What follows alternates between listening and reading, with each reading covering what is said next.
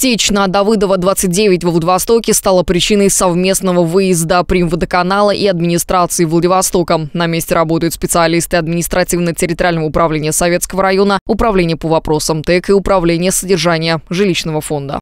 Задача какая? Э, определить источник течи, либо определить э, способность ее зарегулировать куда-то. В данный момент то есть, подняли исполнительную документацию, исполнительные схемы.